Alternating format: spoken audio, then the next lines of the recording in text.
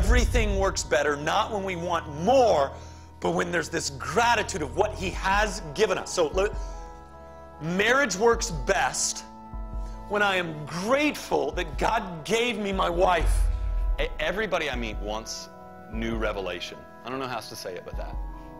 Uh, Like everybody, they want new revelation. They don't, however, want to be obedient to what they already know. They want what's next. They want, teach me something new, or we could do what you already know, you know? Uh, you growing in truth, hear me, and I'm not talking intellectual understanding. You growing in truth is inseparably connected to you practicing the truth that you know. Like if you've got a moment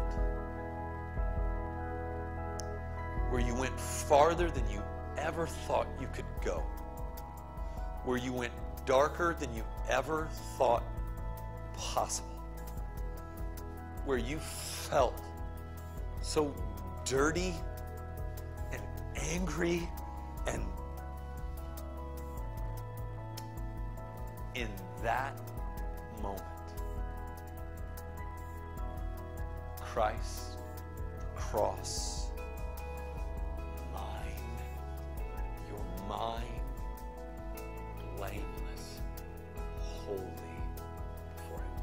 That is profound. That is profound.